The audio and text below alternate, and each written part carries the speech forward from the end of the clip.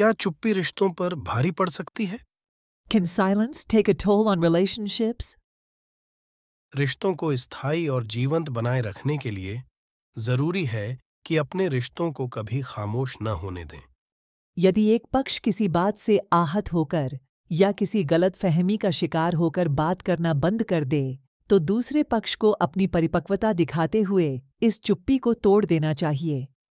The same thing can be expressed in English as follows To keep relationships permanent and alive, it is important to never let your relationships become silent. If one party stops talking due to being hurt by something or being a victim of some misunderstanding, then the other party should break the silence by showing its maturity. Thank you all very much. Presentation by Dr. Bibhash Chandra Jha for YouTube channel A1 Thoughts.